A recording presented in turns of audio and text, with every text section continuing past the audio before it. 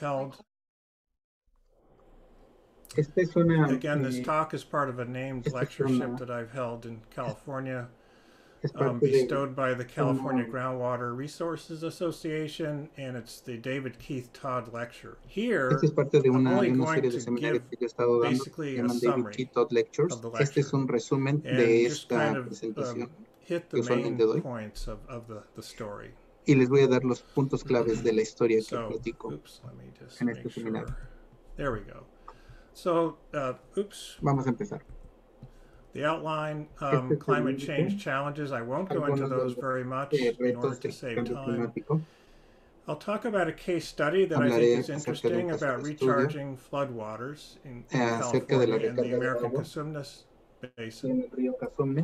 En el río Cazones, en el And I, río I'll say a little bit about a roadmap to resiliency de In the full talk, I a give a roadmap or part of one. In this talk, I'm ju- just going to focus on one part of the roadmap, and that's um, tracking uh, um, groundwater storage, es que es which I hacer a am los, going to argue is eh, key los to acuíferos, making de groundwater management transparentes. easier.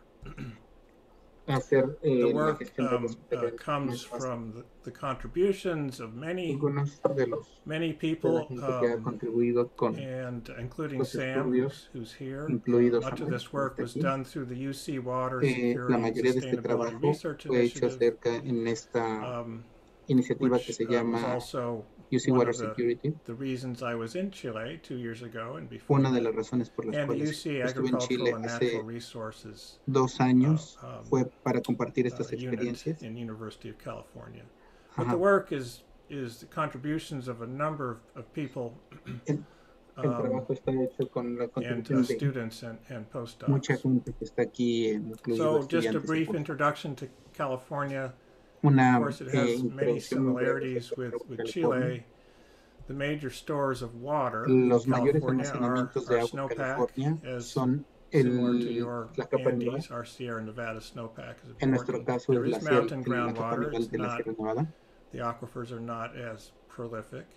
Donde los Surface acuíferos no son tan reservoirs and alluvial valley groundwater Muchos, reservoirs, and the big one is the Central Valley of California, y los, right here in the los acuíferos, los almacenamientos de agua subterránea. And I Los mayores están en, la, en el Valle Central. 97% of all liquid fresh water on Earth is in groundwater. dulce está en el So the biggest reservoir is almost always the groundwater reservoir. El, with- with very few reservorio de la assumptions, the groundwater reservoir is the biggest. usualmente es el agua even in small basins.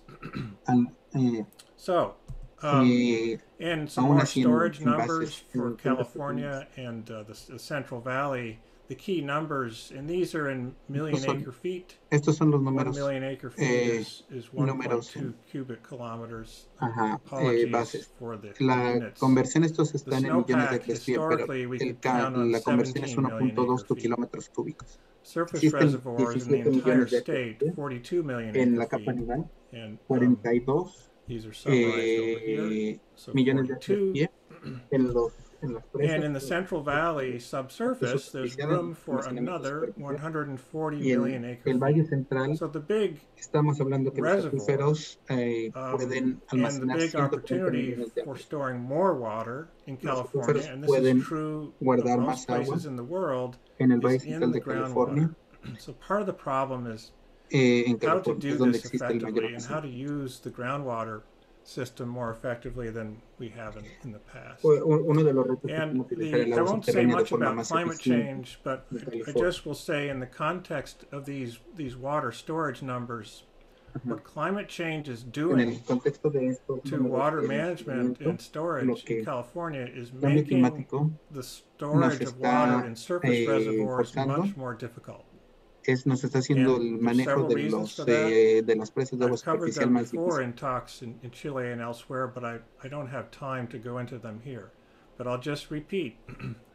the problem with climate change is it, it makes storage of water Es que hace que el um, in surface reservoirs much more difficult and much less effective, y es it used to mucho menos efectivo. which um, brings up the the opportunity Lo que and the need lo que nos trae a ser also una storing oportunidad of ver la water in necesidad de almacenar más agua en groundwater resources. acuíferos So I'm o going to en las aguas cover a, a subterráneas. very quickly now a, a Voy a- case study Eh, of, what we call in California floodmar.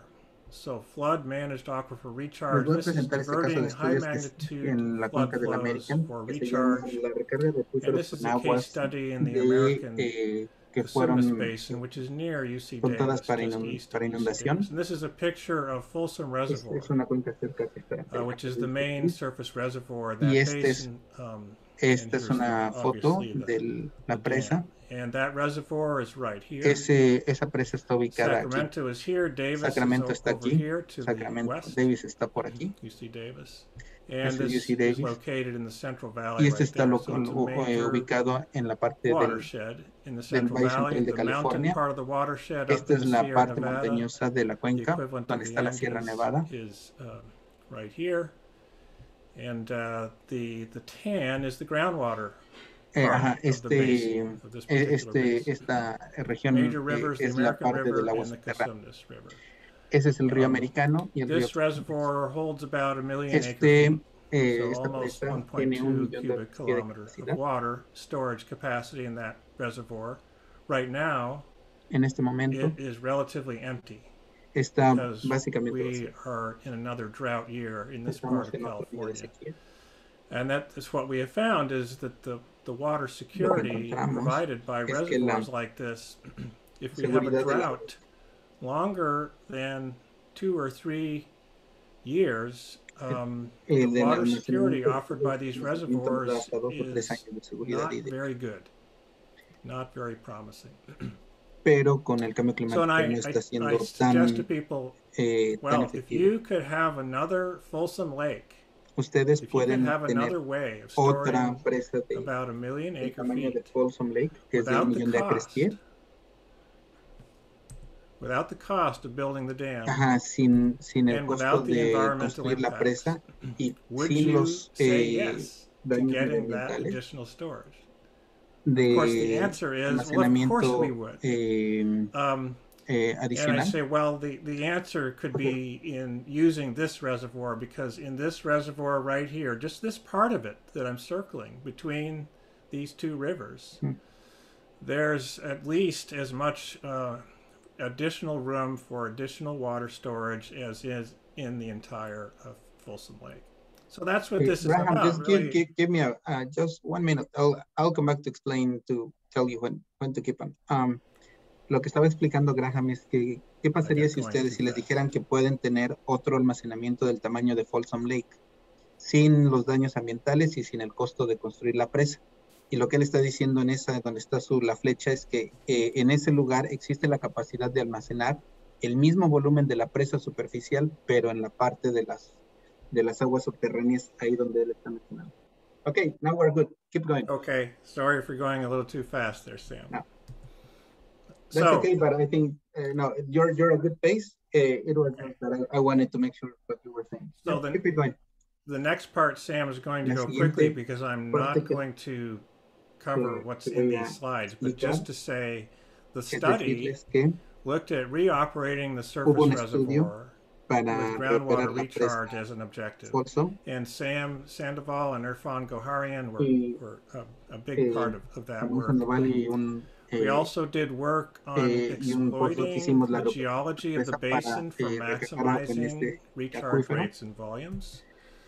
Um, and this involved advanced modeling Ajá. with eh, uh, hiz- advanced hizo uh, otro, otros hydrogeologic estudios en los cuales eh, se characterization hizo and modeling methods. I'm caracterización not going to geológica go into them. para ver en You qué might get a zonas se flavor podrían for them hacer by la looking recarga de at aguas these slides. We learned a lot y about eh, nature of básicamente se groundwater encuentran en lugares storage en los cuales se puede in hacer una all the recarga sediments, not con just the la- aquifer eh, una sediments, but the infiltración a non mayor velocidad que aquifer en otros lugares. sediments. And then we also investigated reoperating not hemos hecho only the surface La reservoir, but also reoperación the no solamente groundwater. de presas reservoir. de agua superficial, pero también de And uh, eh, la reoperación de the- sistemas this de agua involved subterránea.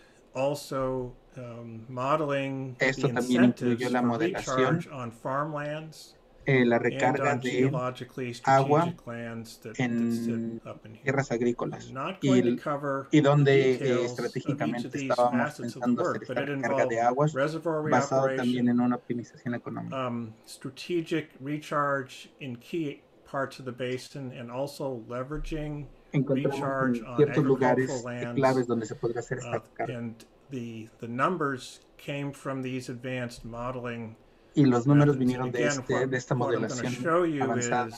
Lo um, que les if voy a we mostrar, divert flood flows si nosotros down the American River, we derivamos divert agua them down de- Folsom South Canal to recharge in the basin. lo ponemos en How el- much more water can we Canal. recharge and how much cuánta agua se increase puede in recargar groundwater en el storage can we achieve had we done this for a historical 20 year qué cantidad de agua se puede So we recargar reran y qué hubiera pasado previous si 20 hubiéramos years of hecho history todo t- esto. to ask the question well had we diverted more of these waters Ajá, during Si high magnitude winter flows eh, for recharge in the basin estos how much more water estas security could we have achieved and here's qué, the qué- qué cantidad results. hubiéramos podido So, este, um, and this is flood Floodmar by the eh, numbers in this this almacenar. basin. Y esto Um, solamente es and the número que en esta average water available for recharge through reservoir reoperation and high magnitude flow diversions, uh, diversions that did not promedio de agua violate environmental eh, in the basin. que se puede recargar por año hasta About el a half medio a eh, million millón acre de feet acres per pie year por año during this, this time sin period. eh, impactar al medio And ambiente. then the, the hydroeconomic modeling predictions Si lo for this hacemos con 20 un year modelo de period that we optimización reran hidroeconómica here. para ese periodo de uh, años, indicates we could use 36% nos of dice que that podemos or water utilizar available es for recharge. 36% de ese work, que es We're able el, to los recharge 3.9 0.52 million acre millones. se hubieran podido recargar 3.6 millones de litros en ese periodo. De eso se hubiera podido, recargar, se hubiera podido almacenar en el, en el acuífero 2.4 millones. Se hubiera incrementado el flujo de 7 millones de acres pie y se hubiera ido a otras cuencas de aguas subterráneas eh, cercanas, 0.76. Si Hubiéramos no solamente So hecho la modelación hidroeconómica, pero 5.4 también considerar la energía, 20 year period. se hubiera podido recargar en el acuífero perspective, 5.4 millones de balance has been in deficit for years. Ajá, el The deficit um, amounts to about donde 1 es. to 2 million acre feet per year. Estamos hablando de 1 So a 2 California millones de acres It pie. has been using por año. 1 to 2 million acre feet per year more than it should. California ha hecho Most of that is through groundwater 2 millones overdraft. de por año de Um, so these amounts recharged in Estas one basin um, of a large state are, are quite significant. estas, estas cantidades are eh, significant significativas potential en el, en el contexto del for, Estado. for basically a joint operation of the surface reservoirs and the groundwater reservoirs to existe la posibilidad de maximize storage in, in both. Operación conjunta de el acuífero y el agua Okay, so superficial, that's- el that's reservorio de agua part superficial, of the story. para eh, incrementar It el makes almacenamiento us en el acuífero. um, reflect on on the benefits of, of increasing groundwater recharge. ¿Cuáles son los beneficios, los What does beneficios de recharge do incrementar for us? el We get almacenamiento de total aguas greater subterráneas? total water stored, En general greater tienes water security, un eh, less mayor overdraft. almacenamiento en la cuenca, mitigation tienes of mayor effects of seguridad overdraft hídrica y on menor disadvantaged sobreexplotación. communities. During Eh, the recent California drought, thousands of wells dried up in disadvantaged communities. This is a major um, impact, a major catastrophe in Hay, mucho- California hay, hay muchos problemas con eh, pozos someros en Mitigation of estas effects of comunidades en overdraft on desventaja groundwater en el dependent orden de miles ecosystems. que se afectan a estas comunidades que potential stabilization of declining groundwater quality. Our groundwater quality in many areas, in agricultural areas, is declining due to nitrate and other uh, La contaminants calidad del agua such as salt. subterránea en esta zona So that's something we're ha ido, also se ido dealing with. This degradando debido a recharge los, helps eh, a los stabilize that fertilizantes problem. And Y es there's un a problema related bullet estatal here to that that I'm que not con going esta to go into recarga se that's specifically about salinization. That's another topic.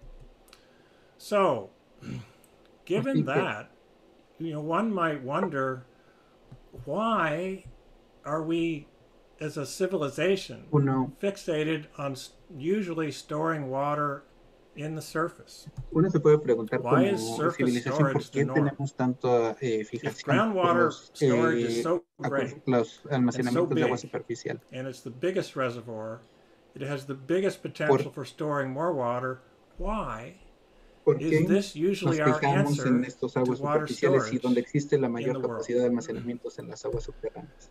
I think the answer is one Yo creo answer que la is for centuries es- it's been the only obvious choice.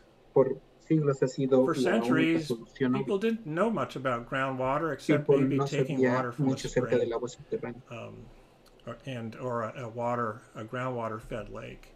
Also, Eh, no modern groundwater technology and science is young. más acerca de la ciencia de los So ríos. civilization evolved over centuries, basically Ajá. doing this, but we got better and better at it, with building bigger structures, Eh, with eh, bigger uh, civil engineering projects. pero la tecnología The other thing moderna de to think about here is the technology to en los 60 operate aquifer systems like reservoirs is is even younger. Ajá. La, las tecnologías para operar So, acuíferos what I'm sistemas saying here como si is, fueran eh, reservorios de agua one of superficiales the todavía reasons más recientes. Estamos we hablando del orden de like to store water on the surface is it's nos easier. gusta guardar agua en el agua superficial porque It's es fácil. easy. You build a structure. Construyes la, water. estructura y you have one water level to measure here. As it goes up and down, you know un nivel que exactly how much water you have. It's agua easy. tienes almacenada. Es fácil. How could you? So the question I'd like La to pose is how could you make cómo puedes hacer management as las aguas, easy la mane- as el manejo managing de agua a superficial surface es tan reservoir? fácil como el manejo de agua.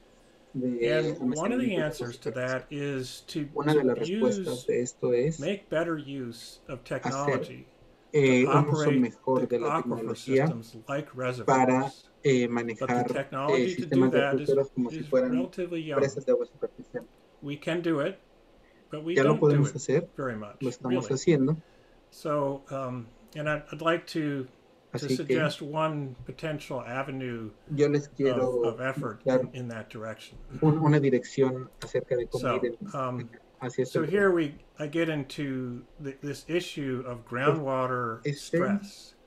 Déjenme Um, and the platicarles point of acerca del this estrés de aguas, is super, uh, de aguas groundwater stress, subterráneas. or you could replace stress with groundwater mismanagement. Ustedes pueden is a global phenomenon. la parte de estrés con un mal I think um, not Eh, so much el mal in manejo de Chile. aguas subterráneas es un think fenómeno in global. Chile you do have some acute groundwater problems, En Chile ustedes tienen but problemas in many de parts of the world there's problema muy severo de aguas major um, disasters or crises Dice regarding groundwater, whether it's western Mexico, a the de high plains of the U.S., mayor, the Central Valley of California, right there, el Valle the North Central Arabian de Basin, California, Persian, la, Persian Basin, the Upper Ganges, Pers- eh, North China Plain. el Golfo Persa, We're los eh, seeing more and more news articles and science articles. This was published in Nature Estamos about the global groundwater crisis. existe una crisis crisis global de aguas subterráneas. And you know why is there ¿Y por such qué? pervasive lack of groundwater management? ¿Por qué existe esta so cultura I'm arguing eh, mala de no manejar that los acuíferos de forma that the aquifers are not transparent Porque los acuíferos no son transparentes, son no So I think- hacemos más You know, the, the mismanagement comes from the fact that groundwater is hidden. Viene porque And what's el agua happening with it at any given time is not widely known.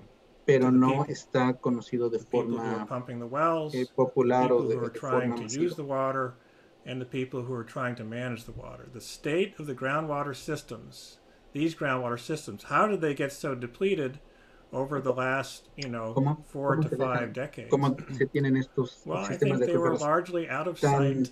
degradados, out of mind. So I think part of Es, the es porque el- that, no se ve that we need qué tan no, no- no se da a conocer al público común. ¿cuál lo van a hacer? Chile. is how to make aquifers more transparent. Claro, So, uh, I ask you to step back and imagine. Imagine this. les pido que den un paso Imagine y que se imaginen. being able to know and manage a groundwater system as easily as we do a surface reservoir. sistemas de agua subterránea And I list two key things here reservorios de agua that I think would make a big difference. Imagine knowing the change in groundwater dos storage, monthly or weekly ustedes in real pueden saber time. cambio de almacenamiento al mes. and this is not this is not the same as knowing the groundwater pumping. Esto no es lo mismo que The saber key thing is the change in groundwater storage, which is a function of the pumping and recharge and lateral basin flows es and other things as well. So imagine knowing the change in groundwater storage monthly, the way Imagínense we que ustedes pueden do saber el tema with surface reservoirs. Again, with surface reservoirs, it's Con- simple. Reservorios With groundwater superficiales es muy reservoirs. It is not Con simple. eh, reservorios de aguas It's not simple at all. But it's no technologically feasible to do this. And then another bullet I have that I'm not going into today is imagine Imagínense knowing the flux exchanges, the water exchanges between groundwater and surface water. cambios de volúmenes entre agua continuously in subterránea y agua space and time. This is a technological hurdle eh, that I'm predicting will be solved within five to ten years. Estos dos, So I think this will se van a will have a big change. I'm not going to talk about it here, but I just I mention it because I think in the No, future no los this will be very important. presentación, pero estas son dos And then another one here that's important that I don't go into today is Algo que es knowing the groundwater quality decades to centuries into the future based on different groundwater quantity and quality management practices. This is something we need. La calidad largely del don't agua, have that knowledge. eh, The groundwater quality changes on en these long time va a scales, cambiar and we eh, frankly basado en la don't cantidad, know en el what manejo, much of the groundwater quality will be de calidad y calidad. 20, 30, or 50 or 100 years into the future. That's a problem, but that's something we can solve also. si no tenemos un And manejo that's de agua something we're actually working on. So, Esto es algo en lo cual ahorita game estamos changing innovations within reach. Existe algo que está And I'm going to focus on the ones in bold up here. en el aspecto de innovación. Real time monitoring of changes in groundwater storage. Estamos eh, trabajando Again, en I think en there's the common assumption that, well, can't we already do this? almacenamiento en agua subterránea. And I'm going to argue, uh, in some places, yes. In very simple groundwater basins, we can. En But for the algunos most lugares part, donde existen cuencas que son we're muy not simples doing de agua subterránea es posible, um, and it really hasn't been done that much. pero And no that se there's two relatively simple um, actions in this that I think would, would Acciones que son achieve what we want to. Wireless sensor para, networks eh, of well water level pressure transducers. You guys Existen, in eh, Chile and Aconcagua and many eh, other places are doing this already. remotas, eh, redes con And uh, this is something that is not being done medir that, la- uh, Carlos los niveles de Flores and I have been working on in a paper, but the use of calibrated groundwater models to develop a proxy model to calculate change in de In other words, eh, develop your model of your basin. desarrollar And the Aconcagua aproximaciones, modelos has de a model that's in development. los en el um, if you develop the model and calibrate it well enough, what people aren't really um, Si ustedes desarrollan realizing modelo y lo yet is you can use the model as a filter ustedes pueden to utilizar el translate modelo como un measured filtro changes in groundwater levels que puede traer into changes in groundwater storage. los cambios So I'm de a elevación en little el bit more por los about this cambios and- en, and what I en mean. el almacenamiento de agua subterránea. And there's these other other bullets too that are important that I don't go into. Existen este- estos So monitoring puntos que no changes in groundwater storage in real time. ¿Cómo podemos So this, los You might think, oh, de almacenamiento del agua can't we do that with satellites? ¿Lo podemos hacer eso con satélites? Well, yes and no. Sí, sí lo You may have heard of the. GRACE satellite estimates of water storage change. que estiman los cambios de Um, almacenamiento. and uh, this is uh, a figure from Fema esta es una Glietti's famous science article published in un artículo de 2014, which showed us that the GRACE satellite methods can give us changes in total water storage. And it's between 2011 and 2013 for de año con California and the western U.S. para la parte del Um, de Estados Unidos. This got people very excited. Esto nos, nos, In fact, mucha In gente California, muy muy emocionada. hydrologists knew the water was in a deficit. The groundwater was being overdrafted severely se and was que el agua en being affected by drought. estaba siendo sobreexplotada. But when politicians saw this, They said, "Oh, we're in a crisis. dijeron, sí, estamos en The crisis". hydrologists knew they were in a crisis, but when the politicians saw this, so this is very que estábamos en una effective. The problem with it is it's 400 kilometer scale resolution. el problema de So, esto es que es the scale is too big to represent the actual change in storage um, in a managed uh, watershed, like that American Cosumnes watershed, It's too big. the El problema de la technology es que to refine the scale at which Grace operates is probably 20 years off. Para It, hacer it may happen. un, But it's- un it's manejo, not here now. No, no es la, But what what I felt Grace was very interesting muy, about this eh, is when people realize that you might have a method like this to monitor changes in water storage, groundwater se da cuenta storage in real un- time.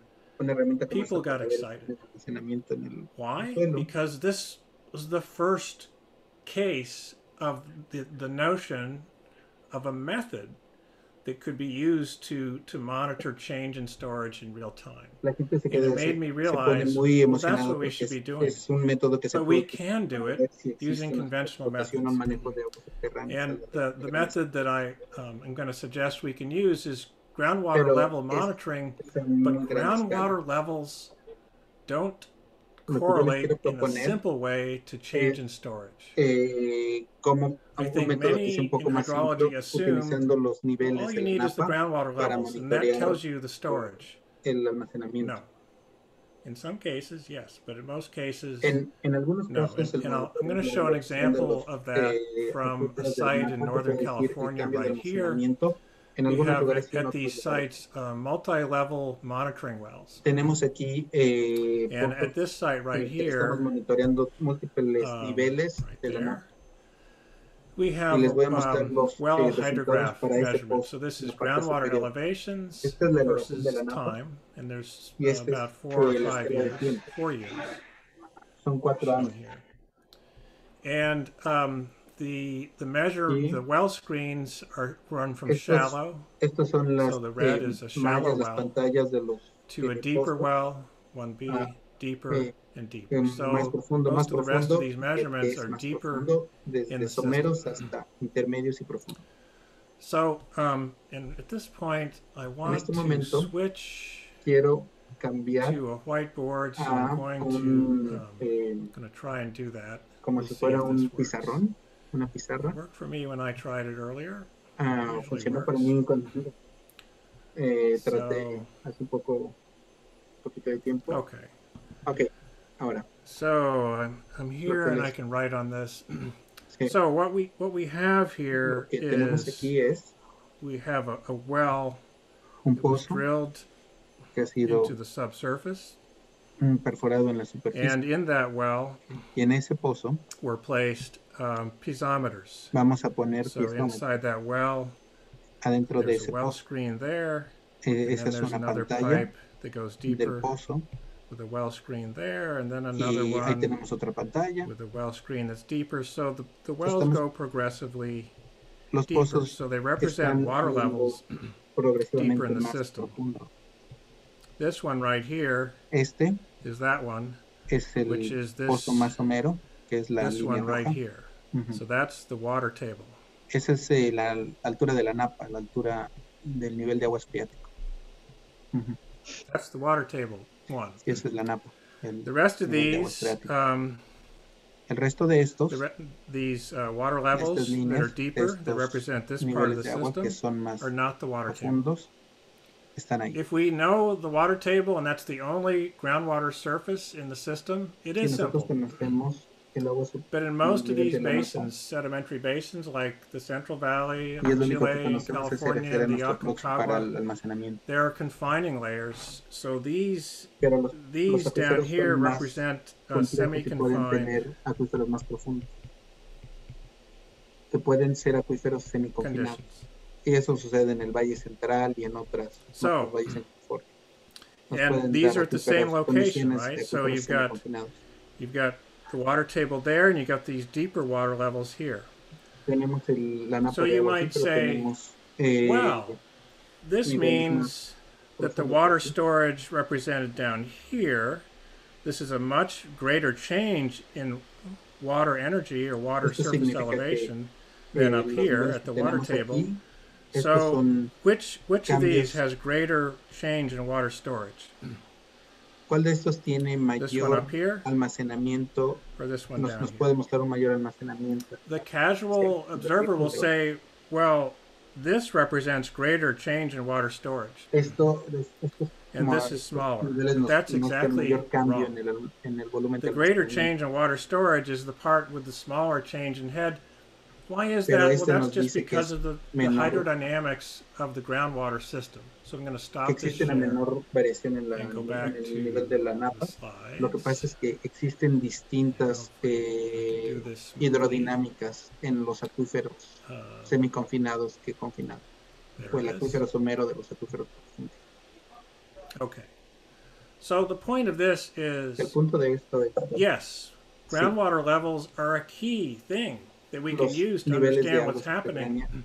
But the relationship between the change in groundwater levels and the change in storage is not simple. And I could lecture for two hours about what goes on inside the aquifer system, the aquifer mechanics that causes that. But this kind of response between shallow water table and deep water levels, we see all over the place, all over the world. It's not just in California. So, but the data we have that is most telling of what's going on in the groundwater system are the groundwater levels. So how do we use this, these data? How do we use data like this to calculate the change in groundwater storage? And the answer, I just tried to advance the slide. There we go. The answer I'm suggesting is this. It's relatively simple. and I think people have done it, eh, but not really published it. We use a calibrated groundwater model to account for the full dynamics of the pumpage, recharge, and vertical eh, leakage effects between the aquifer zones and develop a relationship using that model between change in head eh, and change in groundwater storage. Um, and We've shown that this is feasible and we're working on the paper. The we I'm talking about here is, is Dr. Carlos Flores. So here's an example of this. And this is from, uh, these are model results from a model in the Davis area of Yolo County. The model has three layers, shallow, intermediate, and deep. Estos son los eh, acuíferos que and, tenemos somero, um, intermedio what you're seeing here are model results. Y lo que ustedes están viendo son so we have um, on the left here, these are the simulated heads, groundwater las, levels eh, by the model. And this is over a, you know, a multi-decadal time period. You see the annual uh, perennial fluctuations in water levels. This column is change in head for a sub-region of the model. This is about a um, about a 300 square kilometer subregion Estos within son, the model. Este es un, eh, and this is change in storage. Delta VS is change in groundwater este es el storage. Cambio de almacenamiento and again, you could approximate this if all you knew was the groundwater pumping changes. But um, that only gives you part of the change in storage. What you really want, if you want to know the state of the groundwater system, you need to know the net consequences of pumping and recharge and other fluxes that are going on in the system. So we take these two and just cross plot them. Ustedes pongan estas dos variables. In the future, machine learning will be used to, to, make this much eh, more automatic and robust. Uh, that's something that is ongoing too you plot these two against each other, and here's the kind of thing you get. This is for the shallow aquifer. You get your empirical relationship based on the model that includes the full dynamics of the system. Uh, the relationship between change in head, les da la levels, and change. Here's another example for the deep aquifer. Este es para el acuífero comes from, from that model. If the model is not calibrated very well, modelo, then modelo no está calibrado these muy are bien, not worth the paper they're printed on. Estas no, no So the estas model um, relaciones needs no to be calibrated, and it needs to be a, a fairly reliable, tiene que ser model. un modelo Many of them are not really calibrated well enough to do this, but this can provide additional incentive to Esto make the models reliable and more robust. incentivo para que puedan ser calculados. So um, that's the con- that's the concept. Yes. Just give me one minute here. Okay. Lo que, lo que Graham les quería decir, o lo que les quiere decir es que eh, eh, una de las formas en las cuales se pueden hacer estas relaciones de cambio de napa con volumen es mediante el monitoreo del cambio de la, de la elevación de la napa y utilizar eh, modelos eh, de aguas subterráneas para, estimar ese cambio de volumen. Entonces, con el modelo ustedes estiman el cambio de volumen, con el monitoreo ustedes estiman el cambio de la, elevación de la napa y cuando el modelo está lo suficientemente bien calibrado y es confiable, pueden obtener estas relaciones, que son prácticas para que se pueda utilizar estos cambios de volumen para hacer un manejo adecuado de la, del agua subterránea. Um, okay, now we're good. Sorry. Okay, thank you, Sam. I hope you made it sound better than I did. I'm sure you did. Um, Um, so the other part of, this is um, que les quiero compartir groundwater monitoring. es el, And monitoreo de agua we're- subterránea. I'm interested in seeing um, this kind of analysis este tipo de and the tracking of changes in groundwater storage cambio del spread everywhere that people are using groundwater. So we, we lugares donde la my students and I have been working on Algunos de mis um, a low-cost, open-source wireless sensor network for real-time, scalable groundwater monitoring. We just published this in Water um, late last year. eh, And all this is, and I think you all are doing a fair amount of this ese monitoreo en already. And we, we built a, a sample pilot groundwater observatory where we have wells that we have uh, control over in this basin. lugares donde And, estamos um, monitoreando pozos, We install pressure transducers Estamos and uh, cellular modems pressure in each transducers, well. eh, eh, The cellular de signal is good enough, and in most countries, um, the cellular cellular signal is eh, better than in the U.S. que están Actually. enviando la señal vía celular. Um, so this is a, a really viable way to create Este a, a wireless sensor network relatively Una- inexpensively. Una forma The idea is de we want to be este, able to get este More or de less real-time feedback. forma de What are the groundwater level changes? Then we can Donde- use donde the pueden ver los proxy cambios de, modeling method de- that I showed de previously to translate the changes in groundwater levels into changes in storage. This part here that I'm showing is just about the modelación y se network, puede utilizar estos just to show you an example of what we've done. And what we've done and created volumen, el cambio de is, um, The, the student who did a lot of this work, Andrew Calderwood and Rich ponemos en la Pauloo, web, created um, R scripts and um, the resources to create your own para dashboard, que web-based ustedes puedan dashboard. crear su propia You can, you can eh, pay su propia pantalla people to do this for para you. crear There, y there are vendors, there are donde businesses. ustedes, donde ustedes selling this kind of thing. Existen we're compañías offering privadas is um, donde les venden este tipo de capabilities to do this para crear estas for free, basically. Nosotros les estamos dando Not entirely for free. It, it eh, requires some staff staff support. eh, but here's an example of a part of our network.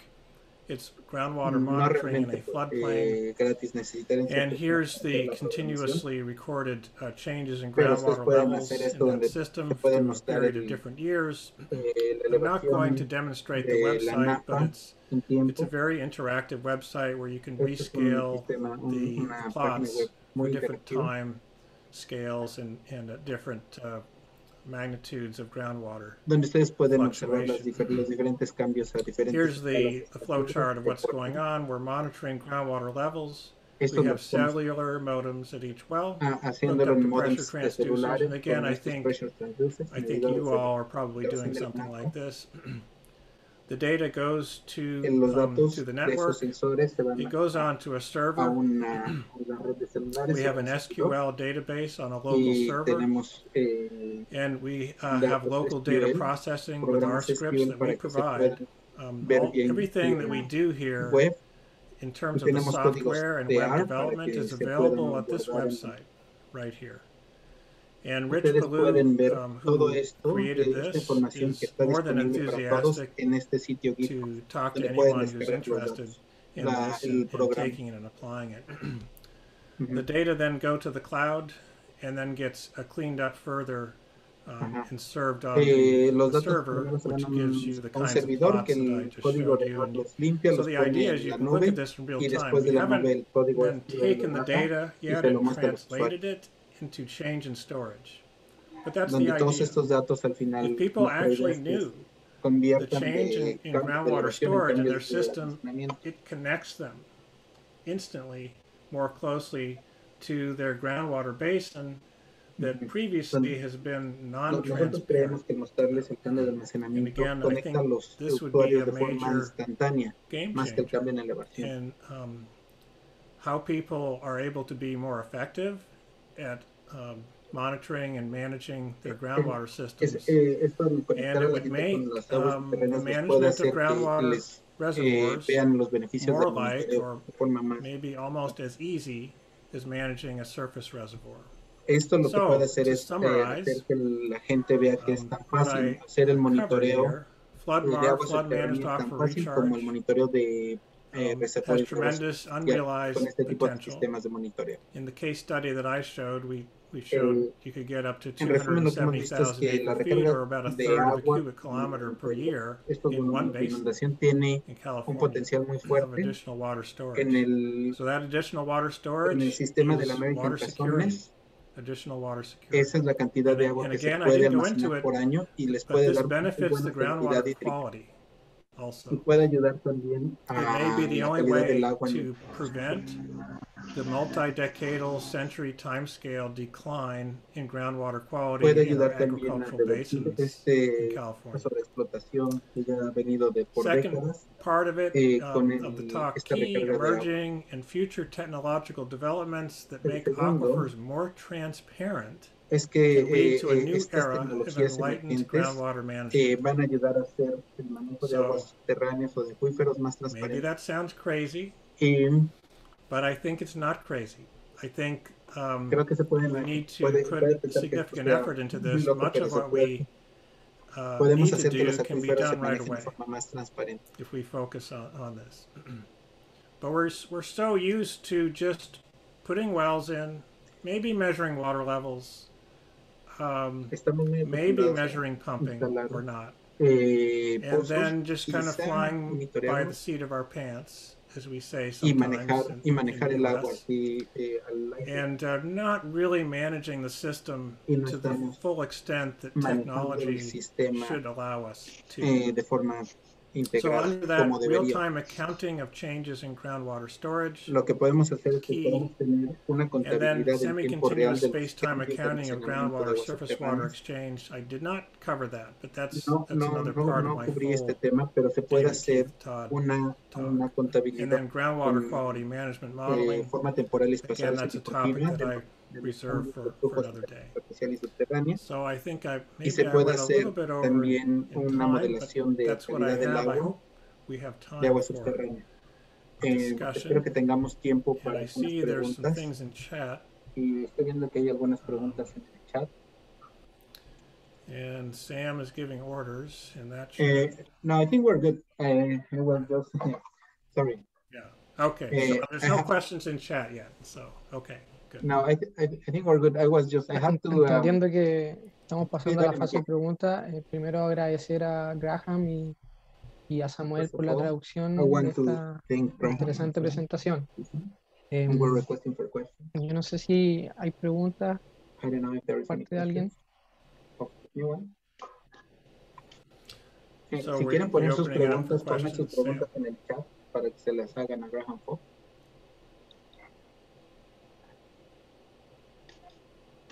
Y sí, la presentación va a quedar en, eh, grabada. Eh, se grabó ahorita para eh, después eh, ponerla en YouTube. Sitio Sim. Oye, Sam, una Ajá. pregunta así como para iniciar la, la- la Una conversación. pregunta. para Mira. iniciar la conversación.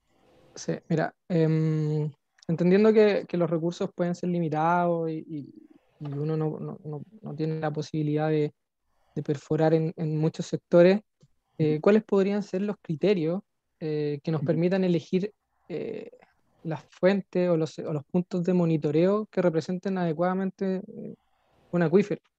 ¿Ya? Ah. No lo sé, ¿a qué radio tienen que estar separados? ¿Cuáles son las características de estos pozos? pueden ser pozos que se explotan constantemente o solo destinados al monitoreo. Si nos puedes comentar, si nos pudiesen comentar algo al respecto. Uh, so, uh, Graham, they are asking, so considering that there are not uh, unlimited financial resources, uh, what will be the criteria or the characteristics to install these monitoring wells um, that can help us to represent the aquifer? Do you know, can you provide any guidance on where to put these monitoring wells and what will be the characteristics of those monitoring wells in a basin? I think in, in most cases, Que la mayoría we de los can casos use existing wells. podemos utilizar ya pozos que ya están existentes. So, um, Así que and that's what we have done. eso es lo que nosotros hemos hecho. Th- There's lots of wells out there. Existen Wells are expensive muchos to pozos drill. eh, en todos lados. So I'm los pozos thinking in son most caros cases, para in a basin, construir. you, you already have wells Ustedes ya and one can use pozos. those, those wells. Podemos utilizar Sometimes esos you pozos. don't have enough access into the wellbore Quizá, to install the equipment. quizá en algunos casos no If tengamos you, eh, drill las your, mallas if para you drill poder specifically for monitoring, Si quieren, um, the data can be higher quality. que si quieren but eh, It's construir modelos difficult to drill eh, the con hundreds of wells que one might expresos para el like. monitoreo, esos um, pueden tener mejor calidad de datos, cost pero van a ser más caros. But in terms of placement, um, Pero en it términos de depends on the aquifer structure. Eh, depende de la estructura del acuífero. You know, Where are the major aquifers Donde and aquitards? están los mayores eh, o los acuíferos y acuitardos eh, It, más importantes. Ah, ahí sí depende. Ajá. And I have a question in chat from Felipe Garcia. Garcia. I'm looking for a face there. I don't see it yet. Felipe asks. Um, Ok, aquí mira, Sam, hay otra pregunta de Felipe García, que nos Eh, dice, bueno, la, la, la redactó en inglés, pero dice, a- a- además del, del monitoreo constante de los acuíferos, tenemos la, Besides the la continuous infraestructura monitoring of the efe- para- aquifers, we efectiva have para to have the infiltrar el, el agua. infrastructure to effectively Contamos con esa infiltrate water, infraestructura. right? Yeah. Yep. Ab- absolutely. Um, that's true. I didn't go into that. Um, in California, they're looking at two major ways of recharging. One way is called AGMAR, and my colleague Ah, Helen Dahlke and others at UC Davis Perdón, have done a lot of work on that. That involves opciones para hacer using farmlands que es to do eh, basically de fallow season irrigation en to accomplish eh, tierras de recharge. cultivo And in some settings, in some crops, it looks like this is very promising. The other approach of, eh, of es recharging. Geologically um, otros opportune locations that also have really good soils for recharge Tenemos lugares donde That's something muy that, uh, is being done some, but not enough. And uh, we're, we're trying to develop the the hydrogeologic data to Ajá, support those, caso, those kinds of decisions. That is where are the best eh, places eh, to put the water para to ver dónde achieve high infiltration rates. eh, The other part of infrastructure that I think Felipe may be referring to would be the the um, the canals. eh, trabajando en donde So um, estos let me. Ah, Uh, oh, did it stop sharing? I think it did. Ujú. Let me, let me go back to. Uh,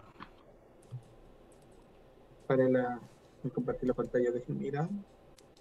I think I have to turn on sharing again.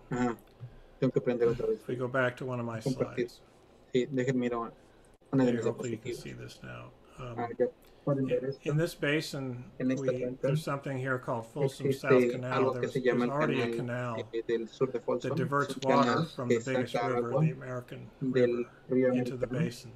eh, So in many basins in California, there's not enough infrastructure like this to move the water from the surface water sources to where you might want to put it for, for recharge. de donde ustedes This canal was not built for groundwater recharge, but it is underutilized.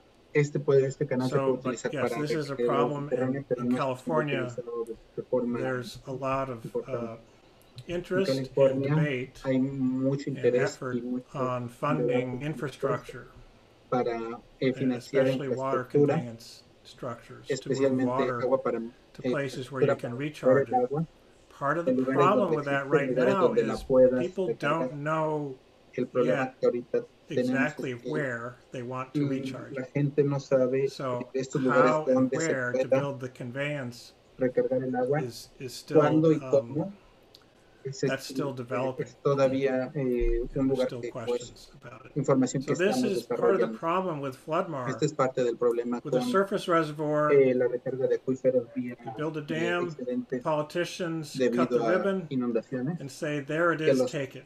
Politicia, a los Simple. políticos les gusta Relatively, cortar el expensive. moñito rojo y decir it's much less expensive, Pero- much, much less Si lo expensive. hacemos en- de esta forma But con recarga de agua eh, to make it work. de You've got to secure the water eh, rights. recarga de agua de inundaciones Um, tienes que hacer in California, they've made progress hacer in how to cosas. do that.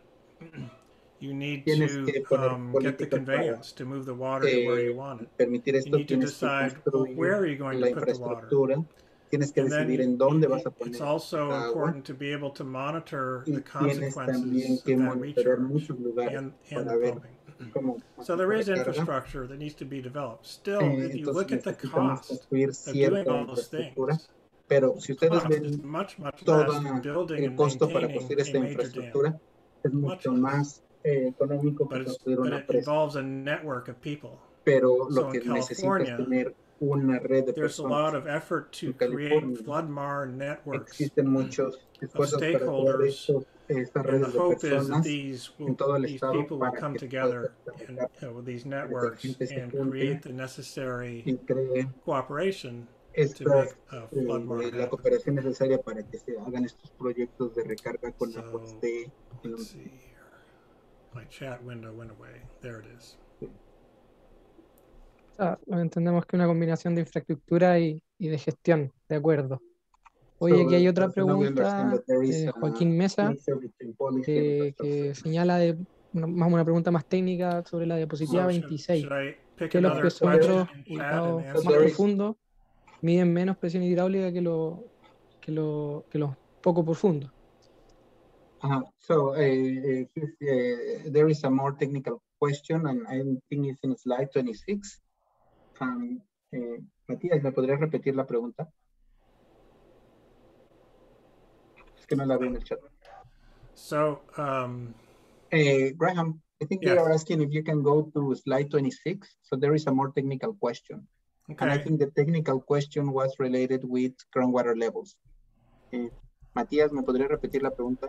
Okay. Matías, ¿me podría repetir En la, la la diapositiva 26 nos preguntan In por qué los, los pozos más 26, profundos miden menos the- presión hidráulica que los poco profundos. Why the deeper well, why the deeper wells has less uh, water pressure or pressure than the shallow wells? Mm-hmm. Hang on, I think I lost my share. When I when I click Espérenme, out of espérenme. Es que um, perdí como compartir. The uh, presentation mode, it's it's losing my my share. So let me just get back to Zoom and reshare Sí. that screen. Ah. And I think um, Joaquin is Sí, perdón, referring to this slide. Eh, se están refiriendo a esta Yes. diapositiva. Yeah. Sí. So these are heads, not Estas pressure. son, esto es, es la And, elevación, esto no es presión. Esto es The pointer is not working unless I put it in presentation mode. So here we go. So um, Um, why are these lower? This is a, a deeper part of the aquifer eh, system. ok. Graham, we're not seeing your this. Hay, hay otra pregunta Well, también em, Estamos viendo solo. Javier. your que, responde a, a si Alright. el, Hang on. la, la que tenemos acá, si el- los datos mensuales son Ok. del modelo son, son buenos como para la planificación en el largo plazo, Ajá. quizás apuntando a, no sé, se necesita con mayor, okay. mayor periodicidad. So uh, after we finish this question, uh, Javier is asking if uh, monthly, the estimates of monthly uh, water storage, uh, are those, um, is the temporal scale good enough to do some water planning? So let's get first one this and then the other one. So, um, Joaquin's question, you know, why are these water levels deeper than the water más eh, This is because um, del agua sumergida? these wells, these piezometers that are, are deeper, which represents poco más profundos, these down here, so uh, these points represent relative depth in the system. It's a sedimentary aquifer system, es un acuífero and there are confining beds. It's all semi-confined. So eh, these, the change in storage here el cambio de almacenamiento en esto um, for a given change in head is proportional to the specific storage. del So I'm giving you a technical answer. ajá, el, el cambio de la change in elevación es el storage cambio, here At the el water cambio de table, almacenamiento aquí for a given change in head is proportional to the specific yield. ajá, el cambio de This is almacenamiento en este es, es These este represent semi-confined parts of the system. just give me a second here. Lo que dice es que eh, la relación que existe entre el cambio de almacenamiento en los eh, acuíferos semiprofundos y profundos es una relación mayor cuando existe eh, el cambio de elevación. En el acuífero somero, como es un acuífero fluvial, no existe esta relación, eh, esta relación no es tan pronunciada. Ah, sorry, now we're good. Okay. Yeah, so it has to do with the gracias, Sam. difference. La otra pregunta que te había hecho, me había adelantado un poco a la respuesta, era si, si en el modelado de agua subterránea The other, eh, el eh, modelo mensual is- eh, es the- suficientemente bueno para una planificación. So en if el the mediano largo plazo. time step of the groundwater model, discretizar un poco más la información. ajá, is Yeah. it the most A- apunta a eso, is it esa good enough pregunta, for water creo yo. management or do we have to discretize more the, the modeling? That, that, that was the first question, remember, about the time step, if the monthly Yes. time step for doing groundwater management, if that is um, adequate or not, or not. Yeah, that's an excellent question. Let me just finish one more thing I wanted to say about Ah, this, and I'll come back. to that. acerca de esta But here, I think people make the creo que la gente mistake of thinking all groundwater level dice que todos los niveles, la measurements represent the water table. hace- tienen un If they eh, did, life would be simple. Ajá, But my point in showing this is that in most cases, the deeper water level measurements represent not the water table. So, and Es que that's what makes la gente ve the calculation of agua y cree change que in storage eh, a little more del agua y complicated. cree que ese es el nivel But that's why we have groundwater models, or it should be why. Existen eh, So, but back to the el cambio de excellent question also distinto. Por eso es que Of, is a monthly time step enough? Regresando a la I pregunta de probably is. si el I think in paso de tiempo cases, mensual um, es bueno para hacer daily eh, gestión del but agua a subterránea, weekly creo que sí es adecuado. time step in terms of knowing the change in dos semanas o cada mes saber el cambio de almacenamiento es suficiente. Right now, En este momento, in California, en California, supposedly a very progressive place, eh, we don't know the change in eh, groundwater storage on a monthly or weekly time period anywhere. no, sabemos dónde están We estos don't. cambios eh, It sounds ridiculous, but it's true. We could, if we focus on that, and if we focus on it enough to make those numbers really good, again, I think we would make groundwater management much more lo sabemos en todo el transparent and successful. Por eso es que estamos eh, impulsando este, este tipo de gestión. Thanks, Graham. Ok. Sam, eh, hay otra pregunta. Dice desde la región de la Araucanía, Patricia Espinosa. Pregunta cómo podríamos en Chile fortalecer a los comités locales para el adecuado funcionamiento y organización en la administración del agua rural. Uh, so how, how can we uh, help the local communities to um, uh, support or to provide them good tools to do local groundwater management?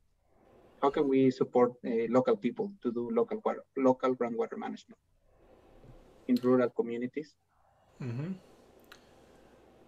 I think um, Eh, yo creo that's another good question. que es una muy buena pregunta. I think there's many different ways, but Existen muchas one formas, way pero una de las is to engage the local people eh, in the monitoring. trabajar con la gente local For en el example, monitoreo. Por ejemplo, In that basin where we did the cuenca um, the groundwater observatory tenemos ese when citizens de learned cuando los that they could have a transducer in their well that recorded their water level. en su pozo y que There were two different reactions. Some people said, "No way, Una, gente dijo, no, keep your equipment out of my well." They were quiten ese tipo suspicious of data that might come out on their well. But a lot of other people miedo de que esta wanted their well to be monitored. Hay otra gente que que So what I saw happening uh, in those cases was a citizen science Lo que hicimos fue type of initiative de or um, eh, crowdsourcing. que So once you create one of these networks, local people who have wells may become interested in being part of it. Y la gente they cuando ve que esto se puede hacer una What red their de groundwater levels are monitoreo doing y donde toda la the gente puede ver levels around sus, them are doing. eh, sus elevaciones, The sus other pozos, la thing elevación de sus is pozos que that, está um, pasando, la gente se, Building a, a groundwater más- model and a los grupos de monitoring gente se network ponen más interesantes. requires regional cooperation. Ajá, una red eh, So regional de there needs to be monitoreo de some aguas kind of subterráneas support. requiere eh, California, the state is requiere trying apoyo. to do this y by en el creating estado de California integrated water management están tratando de hacer esta, este apoyo the financiero a purpose todos of an estos integrated water management planes regionales Sam integrados de aguas say subterráneas. much more about these, Ajá. is to create a platform or a forum for people to um, to Ok, build, Se to necesita Sam? build data. es no, hacer- perdón.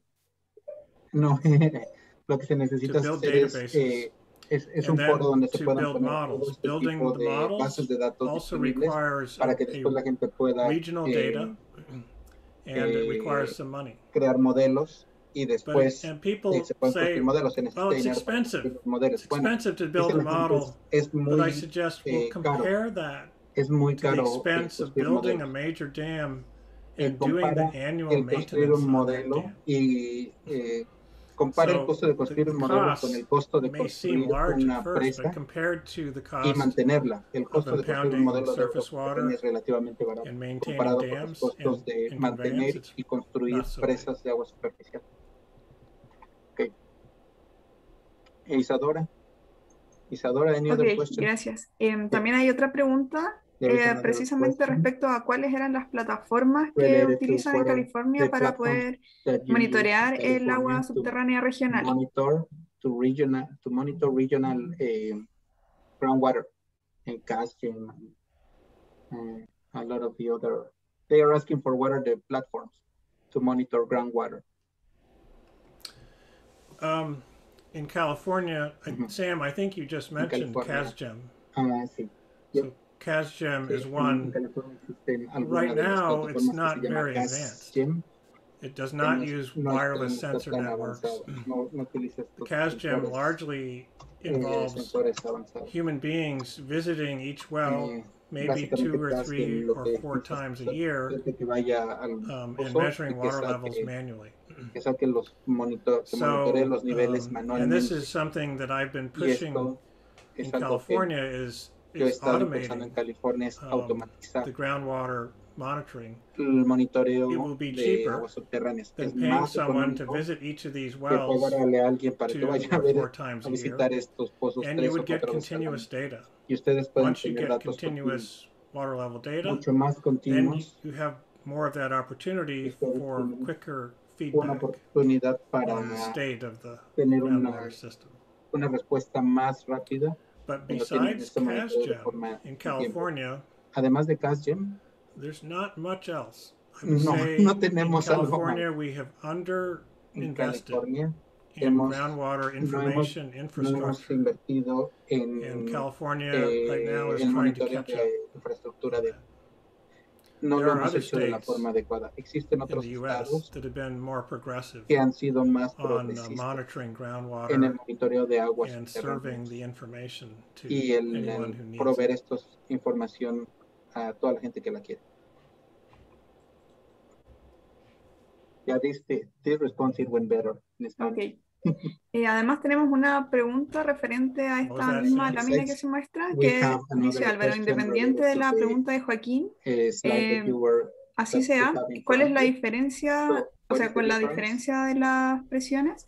significa más o menos interacción entre las capas de acuíferos. Sorry, So let me. when, when you have that variation, that greater, no, the, the uh, slide that you had before, that one. So, um, Isadora, ¿me puede repetir la pregunta? Eh, sí. Independiente de lo que preguntaba Joaquín, previous ¿existe mayor o menor interacción entre las capas de acuífero con la Is there- diferencia de las mediciones? i- Is there a, a- is there more or less uh, interaction between the aquifers that you're seeing there? Um, because of the change in the uh, water levels. So the change in the water level shows greater or less interaction between the aquifers in this slide. Ah. Yeah, so some people look at this and say, well, this part of the esto y dice, aquifer is not connected to that. no, es, no está conectada con That's not correct. They are connected, but just on a different time scale. So you'll notice that uh, escala de tiempo. Lo que you know, the water table goes up and down. like de agua va a The deeper water levels also go up and down. El acuífero más So one of the arriba y para abajo. reasons the deeper Una de las water levels go up is they're being recharged by the para agua para shallow water table aquifer. el acuífero de abajo So the whole siendo recargado por el system is leaky. We call this leaky. está, es, es, eh, But on a time scale of you know six months or something like that. seis meses o ocho meses. Ujú. And in, in some of these cases, En algunos de estos um, the deeper water levels recover during the wet season back to levels that are close to the water table. In this case, these go higher tiempo, están a la misma elevación de and the vertical gradients acuífero de arriba. reverse from downward to upward. Ustedes pueden ver estos But there's other gradientes que van cases where subiendo, que van para um, during the wet season, the water table durante la temporada de elevation becomes very similar to these La deeper elevación water levels. estos acuíferos subterráneos es muy parecida a la But the whole, the- you know, people Pero often la gente think, oh, this means cree they're not connected, but that's not true. dos acuíferos no They're están just conectados. connected They are connected, sí están conectados, hydrodynamically on a bit longer Dinámicamente. time scale, solamente que a una escala de tiempo six months to a year. de seis meses a un año. Another one that went well. Eh, otra pregunta, ¿ya estamos bien? Are we good? Eh, ok, queda la última pregunta Last, last question. que la está haciendo Denise Dujalde. Dice que muchas gracias y que está con Thanks estudiantes del curso de, eh, ambiental de la Universidad de La Serena y dice que es un gran problema en la región la escasez de agua. So in Entonces, sobre la recarga, ¿podría decirnos un índice de recarga de agua subterránea eh, aproximado en áreas como el Valle Central de Chile? Uh-huh. So she's a, she, she's from the Serena. She's a student, and she's thinking about if there is an indicator or an index uh, of groundwater uh, for the Central Valley. Do we have any index uh, or indicator? Regional indicator. Indicator of the state Ground, uh-huh, system or depletion? of the state of the system, I would say. No. Well, the only indicator No, no, el is the Department of Water Resources que el Departamento de Re- collects regional information on water levels. And they, they can usually give you changes in groundwater levels on an annual eh, time scale or maybe a five-year time elevación de la scale. napa cada año And, uh, you so you can, you can look at whether the trends are, are up ellos or puedes down. ver si los, eh, las tendencias van hacia arriba o hacia abajo lo que nosotros And tenemos helpful. eso ayuda Um, But I, I'm suggesting Pero we can do much more with the water level data. recomendando que podemos hacer mucho más con la eleva con can los datos de translate la elevación into de la napa. changes in storage. podemos convertir eso en cambios de almacenamiento y una vez que tengamos los cambios de almacenamiento informative. podemos cre- eh, crear indicadores que sean más que nos proveen mayor información Whew. okay I think eh, that also went well um, eh, Isadora, Matías, Pablo, Javier, are we good? ¿Estamos bien? Ok, ya no tenemos más preguntas, Sam. Okay. So, uh, there are no more Bueno, questions.